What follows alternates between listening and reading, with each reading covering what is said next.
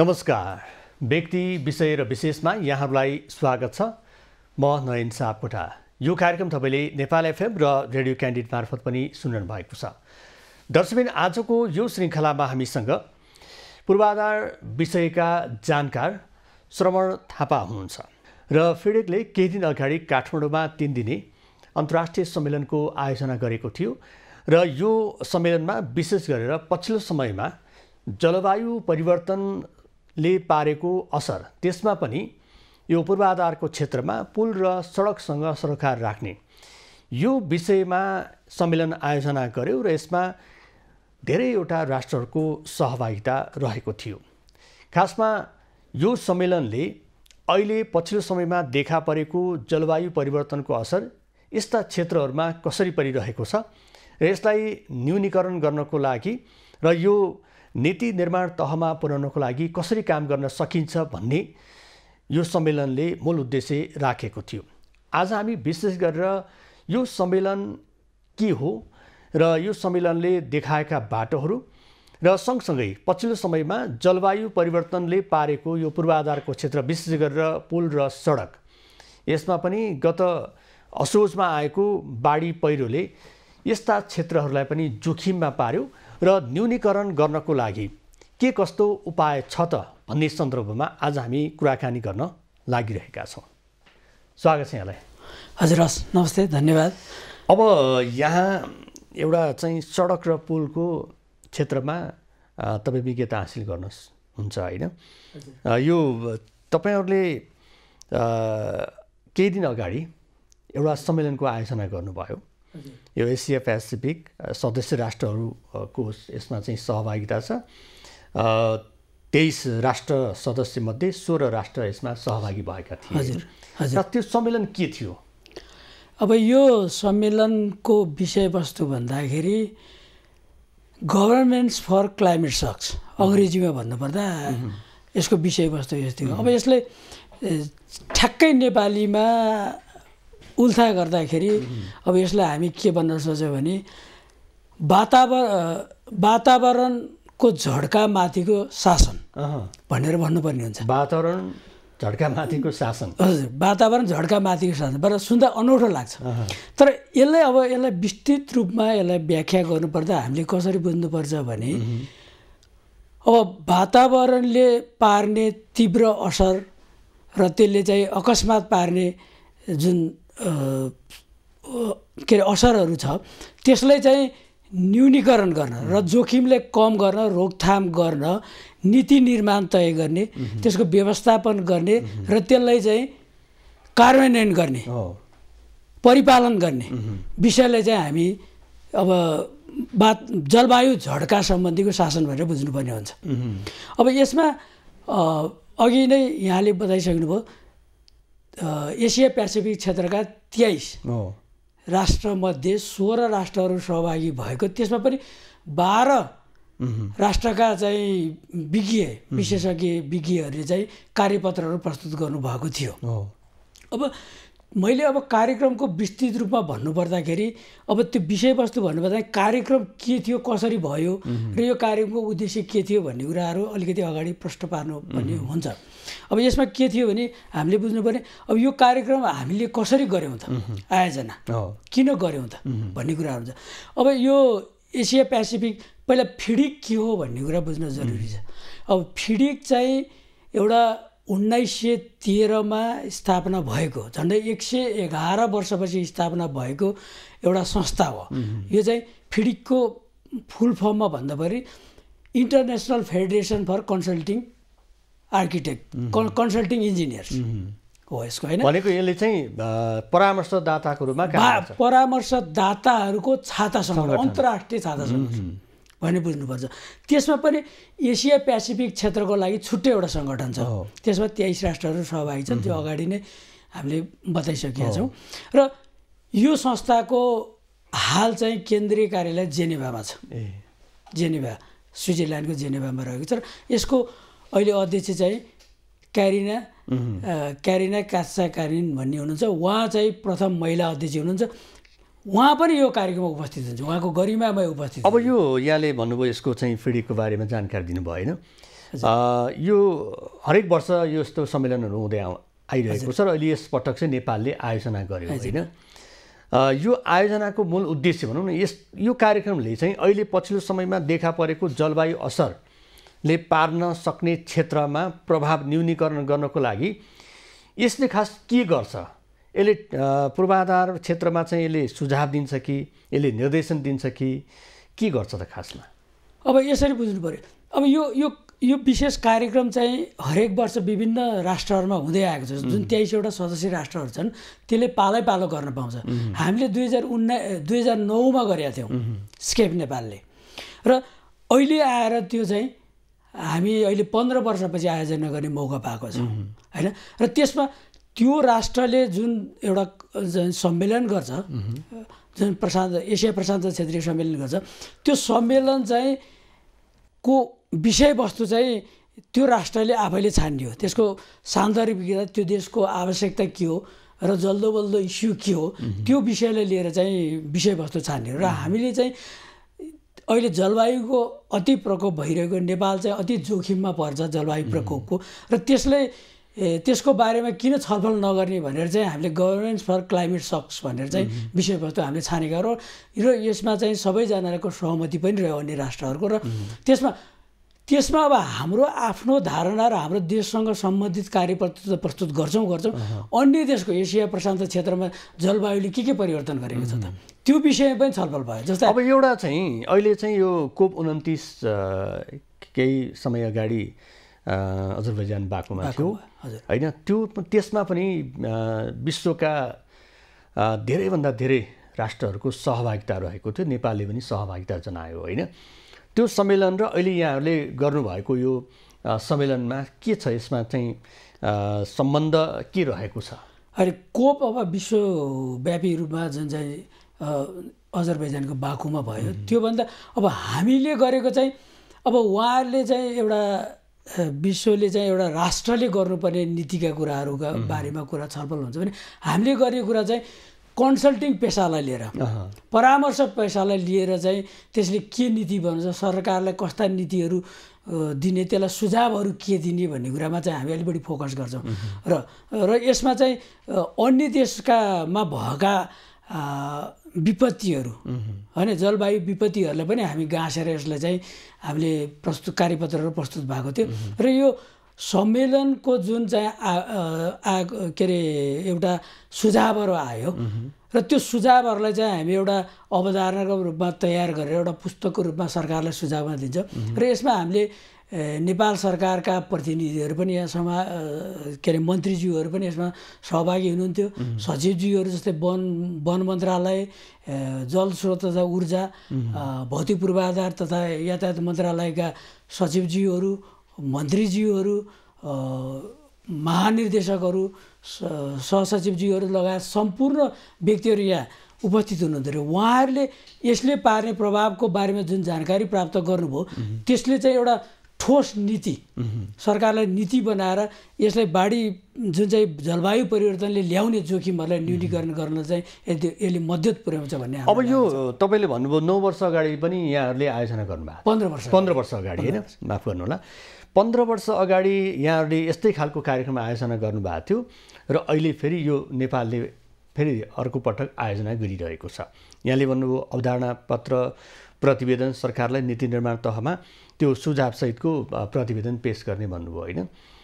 यसको यो प्रतिवेदनले मात्र सहभागिता जनाउने यसमा चाहिँ खर्च गर्ने मात्रै हो कि? त्यो प्रतिवेदनले चाहिँ नेपाल जस्तो मुलुकमा यस्तो अहिले जलवायु परिवर्तनले असरले पारिरहेको प्रभावमा केही न केही त्यसले चाहिँ भूमिका निर्वाह गरिरहेको छ न्यूनीकरणमा। अब किनभने अहिले त अब असोजमै बाढी पहिरो आएर चाहिँ धेरै जनधनको क्षति भयो होइन? अब यो तपाईँको प्रतिवेदन र यो जुन प्राकृतिक विपद छ यसलाई हामीले कसरी हेर्न सक्छौँ? यो एउटा प्रतिवेदनको रूपमा मात्रै आउँछ साँच्चीकै काम गर्छ? होइन। अब यसमा के हेर्नुपर्छ भने हाम्रो तर्फबाट जुन सरकारी निकायहरू जुन नीति निर्माण तहमा रहनुभएका व्यक्तिहरू पनि यहाँ उपस्थित हुनुहुन्थ्यो। त्यसमा पनि जुन भौतिक पूर्वाधार मन्त्रालयका सहसचिव हुनुहुन्छ जुन प्रत्यक्ष सडक र पुलसँग सम्बन्धित निर्माणसँग सम्बन्धित चाहिँ हुनुहुन्छ उहाँ जिम्मेवार पदाधिकारी हुन्छ उहाँहरूले पनि यसलाई यो प्रतिवेदनलाई लागू गर्ने उहाँ प्रतिबद्धता जनाउनु भएको छ। मन्त्रीज्यू आउनुभएको छ वन मन्त्रीजीहरू उपस्थित हुनुभएको थियो। उहाँहरूले पनि तपाईँहरूको यो सम्मेलनलाई शुभकामना सहित उहाँहरूले चाहिँ यसबाट आउने जुन चाहिँ जुन अवधारणा छ त्यो कुराहरूलाई चाहिँ हामी लागू गर्छौँ भनेर प्रतिबद्धता जनाउनु भएको छ। यसैलाई हामीले चाहिँ एउटा सफलताको रूपमा लिएका छौँ र यो विषयवस्तु चाहिँ हामी लिखित रूपमा उहाँहरूलाई चाहिँ एउटा दस्तावेजको रूपमा चाहिँ हामी अब जुन सम्मेलन समाप्त भएको छ हामी तयार गरेर उहाँहरूलाई प्रस्तुत गर्छौँ र उहाँले लागू गर्ने छ भने हामीले विश्वास लिएका छौँ। अब यो त एउटा सम्मेलनले गरेको कामको बारेमा यहाँले जानकारी दिनुभयो होइन?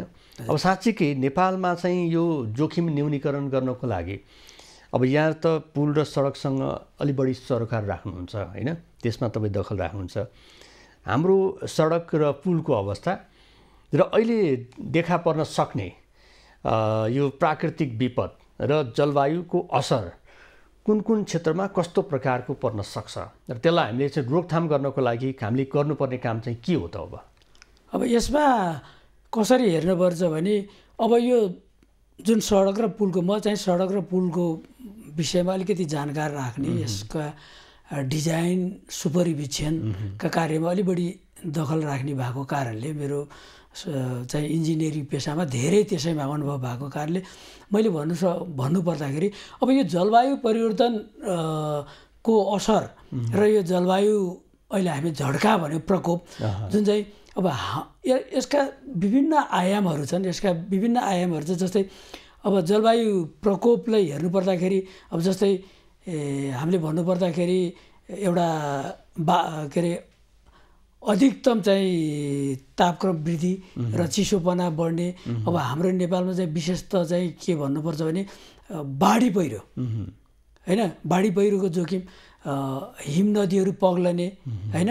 अब हाम्रो ग्लेसियर चाहिँ हिमतालहरू फुट्ने जोखिमहरू। हाम्रो चाहिँ सबभन्दा बढी चाहिँ बाढी पहिरो र बाढी पहिरोको चाहिँ सबभन्दा बढी ठुलो जोखिम रह्यो। र यो बाढी पहिरोको जोखिम चाहिँ सडक पुल क्षेत्रमा चाहिँ असाध्यै धेरै रहेको देखिन्छ।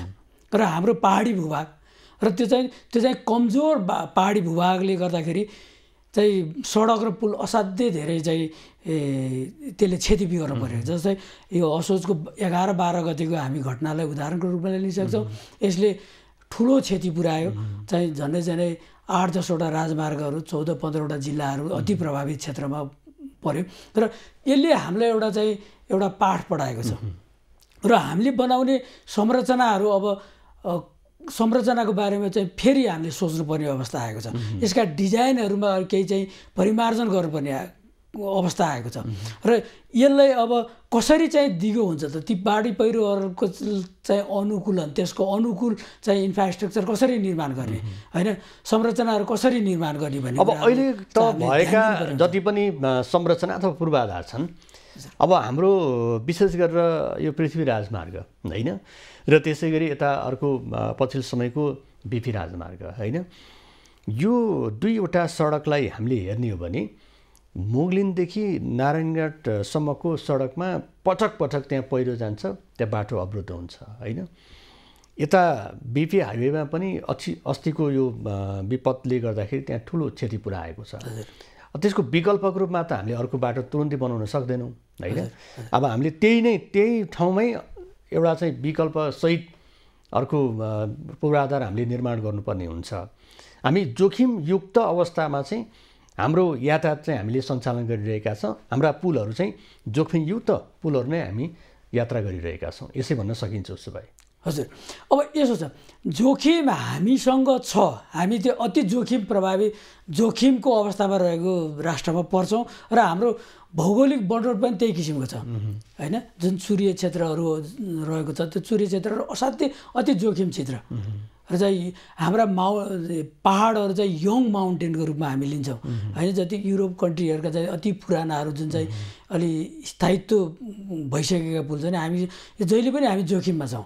र यो बाढी पहिरोमा सधैँ जोखिम छ। त्यसमा पनि अहिले अतिवृष्टिहरू हुन्छ। अनि अनपेक्षित चाहिँ अतिवृष्टिहरूको चाहिँ भइरहेको अवस्था छ। यसले गर्दाखेरि अब हाम्रा संरचनाहरू चाहिँ त्यसको अनुकूल बनाउनु पर्ने हुन्छ। र यसमा हाम्रो देश र चाहिँ हाम्रा नीति निर्माणकर्ताहरू यसमा लागिरहनु भएको छ तथापि पुगेको छैन।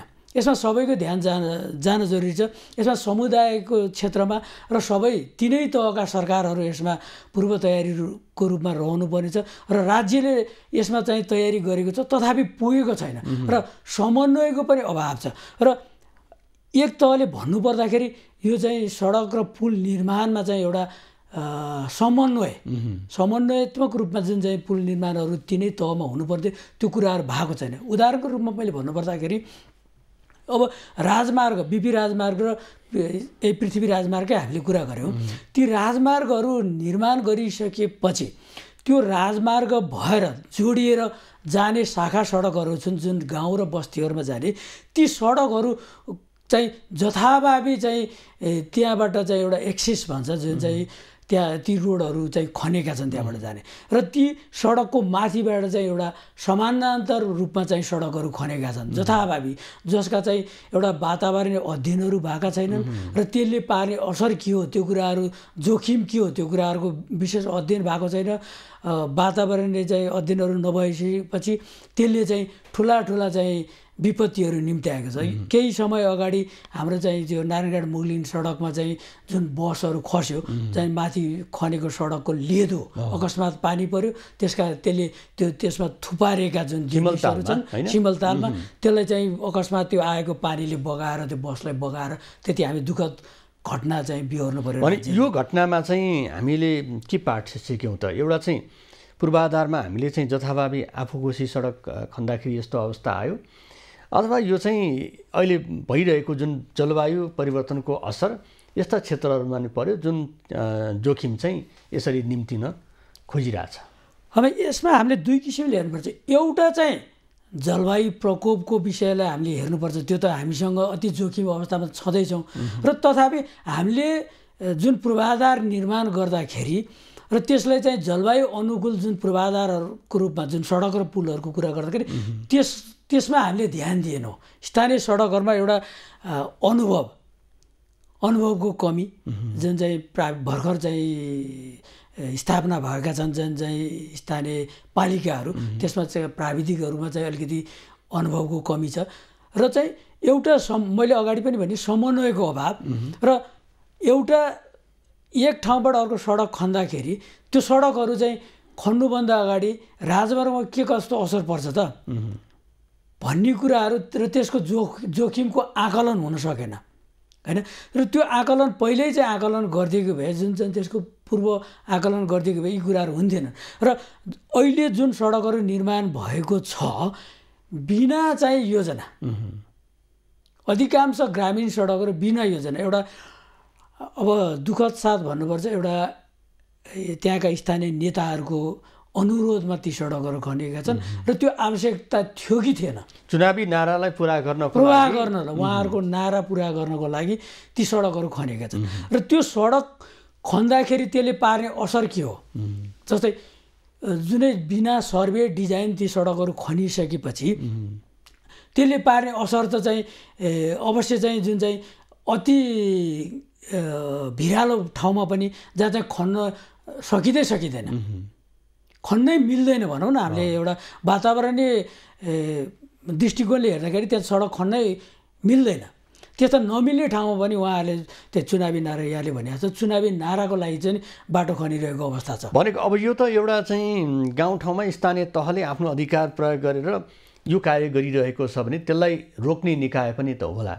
यो आफू खुसी जहाँ मन लाग्यो त्यहीँ खन्दै जाने हो भने त यस्तो खालको विपद त फेरि अर्कोचोटि नदोरिएला भन्न त सकिन्न होइन?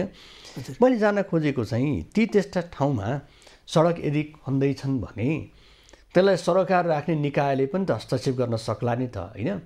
यहाँले भनेको जस्तो नेताको दबावमा अथवा चुनावी नारा पुरा गर्नको लागि जसरी यो कार्य अहिले भइरहेको छ यसले त कुनै पनि बेला चाहिँ विध्वंस निम्त्याउन सक्छ भन्ने उदाहरण त हामीले देख्यौँ होइन?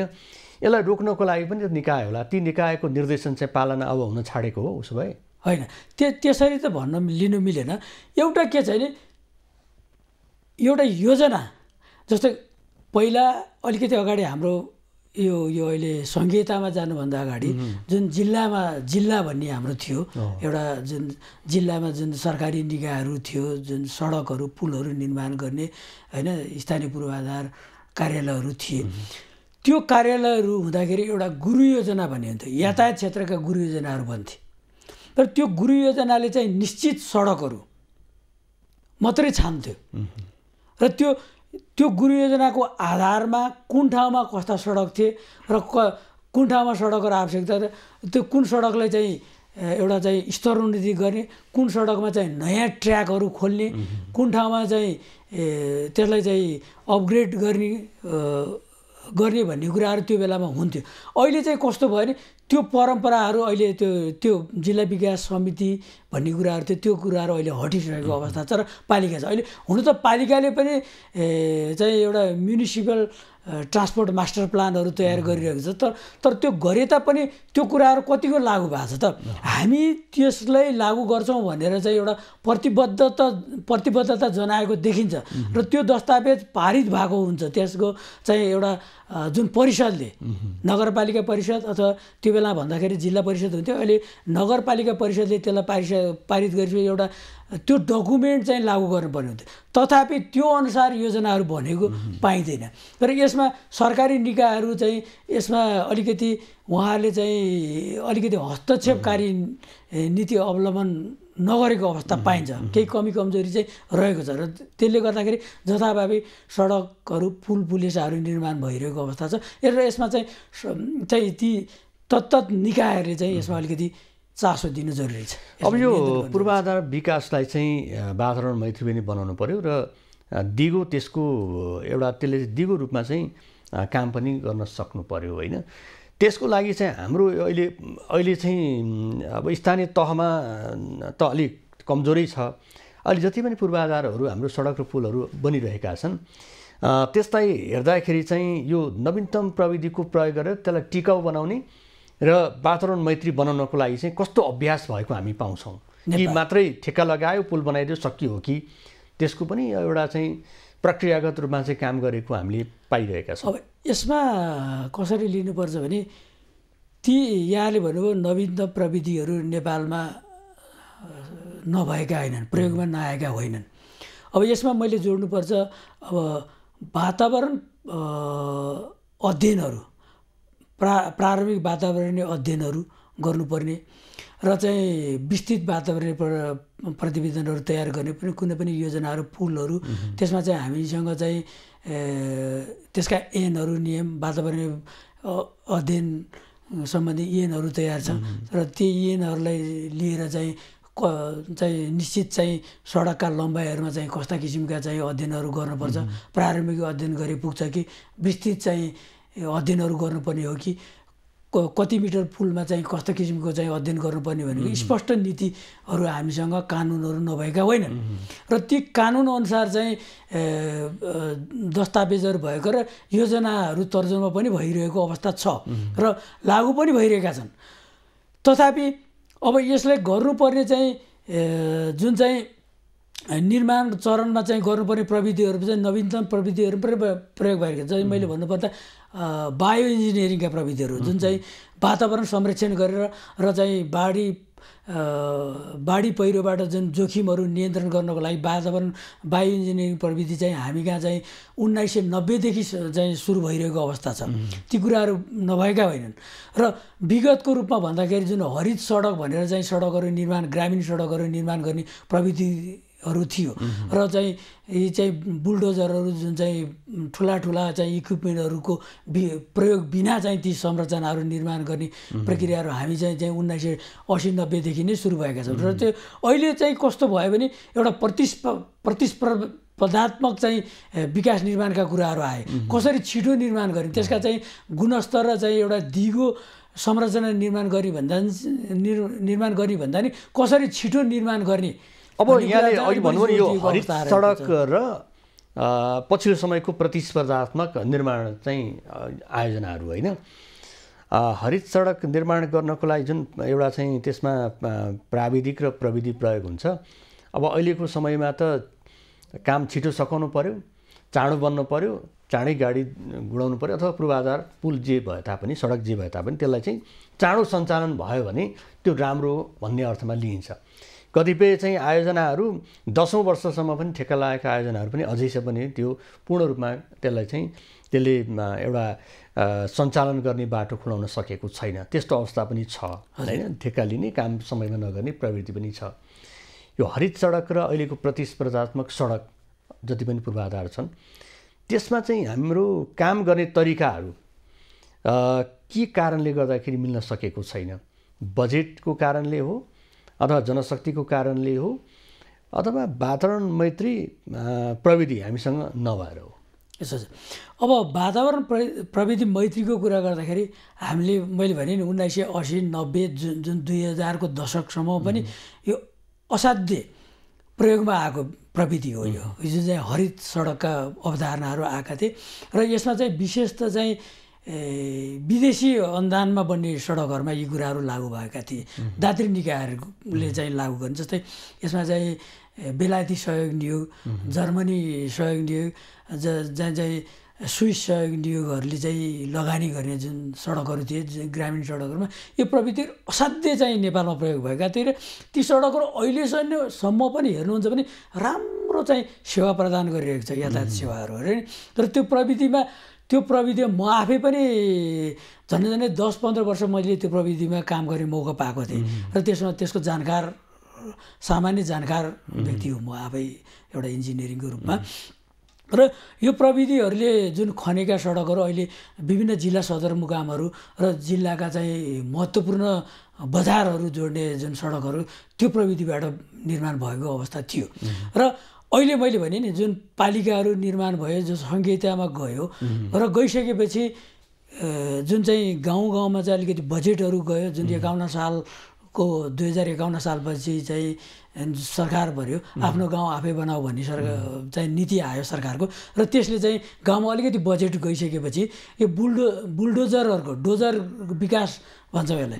डोजरको विकासले गर्दाखेरि जथाभावी सडकहरू निर्माण गर्ने प्रवि चाहिँ प्रचलन आयो। र त्यसले गर्दा त्यो त्यो त्यो प्रविधिहरू चाहिँ ओझेलमा पर्दै गए। होइन? र त्यो त्यो त्यो प्रविधि हामीले लागू गर्न सकेको भए अहिले पनि हो त्यसका प्रविधिहरू अलिकति ढिलो थिए। र चाहिँ त्यो चरणबद्ध रूपमा सडक निर्माण गर्ने भन्ने त्यसका प्रविधि जस्तै त्यो चाहिँ दिगो र टिकाउ दिगो र टिकाउ थियो। अब हामीसँग सस्तो पनि थियो। स्थानीय चाहिँ स्रोत र परिचालन गर्ने स्थानीय जनसहभागिताहरू परिचालन गरेर चाहिँ निर्माण गर्ने प्रविधि थियो त्यसमा त्यसका विशेषताहरू। अब हामीसँग समय सकिन लागेको छ शर्माजी अब जाँदा जाँदै अहिले तपाईँहरूले गरेको सम्मेलन त्यसले चाहिँ अब प्रतिवेदन दिने अवधारणा प्रत यहाँहरूले चाहिँ प्रस्तुत पनि गर्नुभयो। सरकारलाई दिने सुझावको रूपमा चाहिँ के दिनुहुन्छ त तपाईँ? अब हामीले त्यसमा मैले सानो जानकारी दिनु पऱ्यो त्यसमा के के विषयमा छलफल भयो भने कुरा जानकारी दिनु अलिक सान्दर्भिक होला छोटोमा समय सान्दर्भिक जस्तै त्यसमा चाहिँ एउटा हामीले नेपाल कार्यपत्रहरू कस्ता प्र प्रस्तुत भएको छ जस्तै मेलम्ची मेलम्चीको भविष्य वातावरणीय प्रभाव र चाहिँ एउटा चाहिँ चाहिँ एउटा सरकार सर जुन चाहिँ शासन थियो चाहिँ कमजोर शासन र चाहिँ एउटा वातावरणीय प्रभावले चाहिँ मेलम्चीको भविष्यका बारेमा छलफल गरेका थियौँ हामीले। र चाहिँ एसिया प्रशान्त क्षेत्रमा जलवायुको प्रभावले चाहिँ सडक यातायातमा कस्ता प्रभाव पार्छ र चाहिँ हाइड्रोजन र चाहिँ स्वच्छ ऊर्जाका विषयमा कुराहरू भएको थियो। ग्लोबल वार्मिङका कुराहरू भएका थिए। र चाहिँ नेपालमा चाहिँ चाहिँ तराईका क्षेत्रमा चाहिँ नदी अनियन्त्रित नदीहरूले चाहिँ पार्ने प्रभावहरू चुरी क्षेत्रबाट बहने नदीहरूले पार्ने प्रभावहरूको बारेमा कार्यपत्रहरू प्रस्तुत भएका थिए। त्यसै गरी हिमालय क्षेत्रमा चाहिँ स्वच्छ पानीको बहाव र चाहिँ बहाव र चाहिँ त्यसका त्यहाँ बनेका जलविद्युत प्रभाव जलविद्युत आयोजनाहरूमा पारेका असरहरूको समग्रमा चाहिँ एउटा सम्पूर्ण यो हिमाल पहाड तराईसँग सरकार राख्ने होइन? जलवायुले पार्न सक्ने प्रभाव यो यो हुनसक्छ भन्ने हिसाबमै यहाँले कार्यपत्र पनि प्रस्तुत गर्नुभयो। सरकारलाई सुझाव पनि दिनुभएको छ। अब त्यो कागजमा मात्रै सीमित रह्यो भने त त्यसको कुनै अर्थ रहेन। साँच्चीकै त्यो चाहिँ एउटा देशले अपनत्व गर्न सक्ने हिसाबमा त्यो लागु हुन सक्यो भने यहाँहरूको सुझाव कार्यपत्र पनि त्यो चाहिँ एउटा सान्दर्भिक हुन सक्ला। हामीसँग समय सकिएको जानकारी आएको छ। यहाँको यो महत्त्वपूर्ण समय र समाजको लागि यहाँलाई धेरै धेरै धन्यवाद छ। हजुर हस् हस् धन्यवाद। हजुरलाई पनि धन्यवाद। हस्। दसबिन उहाँ हुनुहुन्थ्यो। पूर्वाधार विषयका जानकार श्रवण थापा। आजको समय सकिएको छ। खबरभित्रको खबरको लागि हेर्दै रहनुहोला एभि न्युज खबर। नमस्कार।